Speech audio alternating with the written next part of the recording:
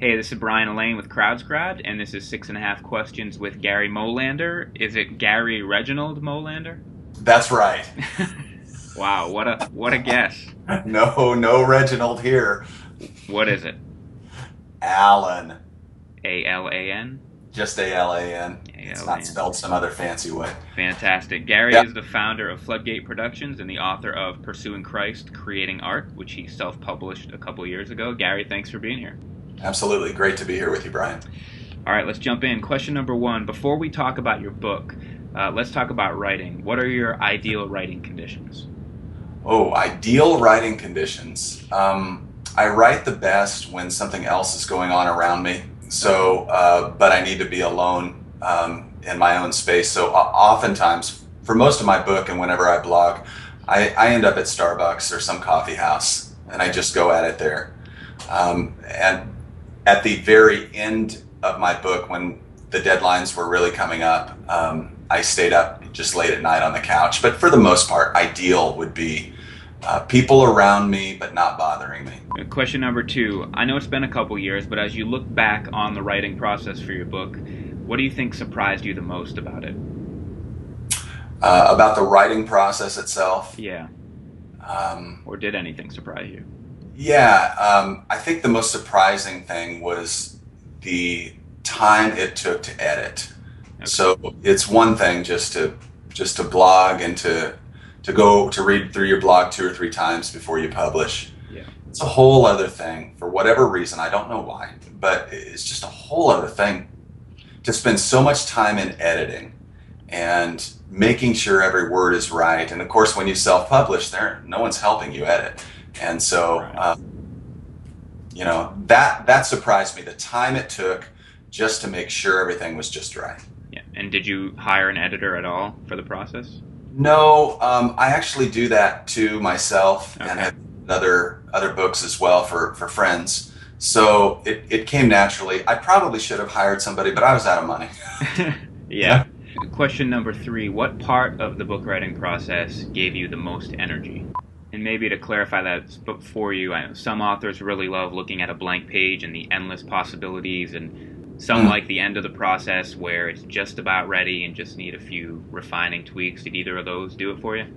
I get the most energy when the idea comes. Okay. And and for me, a great idea is one that probably is a little bit skewed, a little bit alternative, a little different, um, probably to a familiar idea. And so when I get those ideas and I can be wherever I am, when I get the idea, for me, I can't wait to, to write it down and to begin fleshing it out. So for me, probably when I get the idea and then in the process, when I took the idea and began to flesh it out. So I don't enjoy staring at a blank piece of paper. Um, you know, uh, but I do, I do enjoy opening up a, a, a blank Word document or Pages document and beginning to flesh out an idea. That was without a doubt, still is the, the most um, that bring brings my heart alive. Yeah. Uh, question number four: So many folks out there feel like they have a book inside of them. As someone who has gone through the book writing process, what advice do you have for them in terms of approaching a dream like that?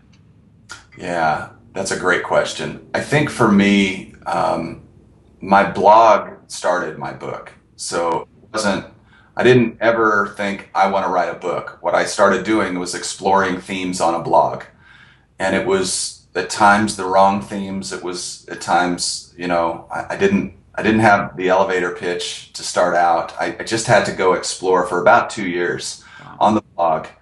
And uh, then once the blog began to sort of take shape and uh, I began to pay attention to who was commenting and what they were saying and I looked around and there was this little artistic community who was listening.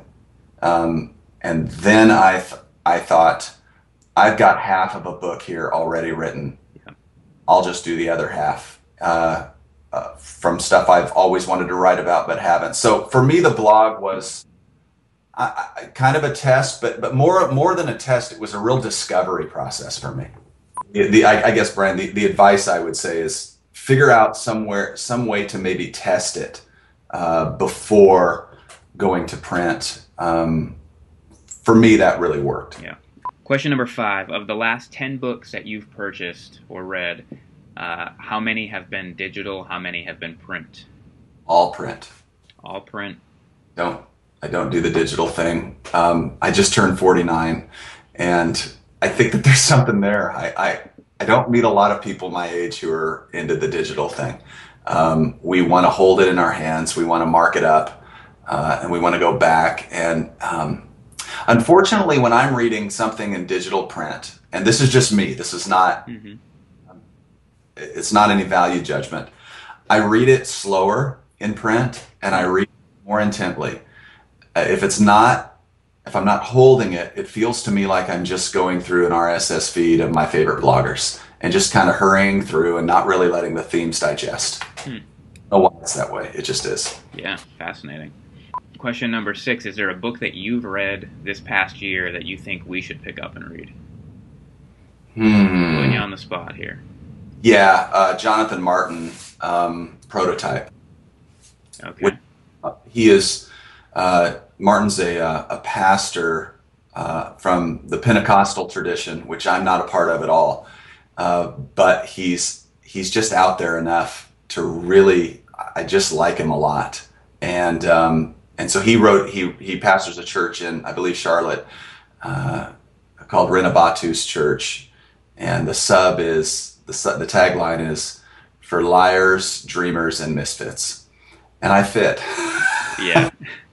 And so uh, I I listened to his podcast, and but he wrote a book called Prototype, and cannot recommend it highly enough for everybody. Awesome. Awesome. All right. Last question. Question number seven. Favorite sports team? San Francisco Giants. Okay. No hesitation there. No hesitation, even after this year. Uh, It has been a rough year for you guys. rough year. Yeah. Is there a close second? Football, maybe? Basketball? Well, unfortunately, is the Rams, uh, the St. Louis Rams, Okay. um, and you know, w- I think we got a good year coming up. That's since 2000. But uh, you know, it's um, and basketball I used to be into, but that was that was Bird, Magic Johnson, Dr. J era. So sure. really give a rip much about it. All right. Well, you can find Gary online at garymo.com. That's garymo.com. And to connect with readers and authors, find great books, and maybe even publish your own, visit crowdscribed.com. Gary, thanks so much for your time. Thank you, Brian.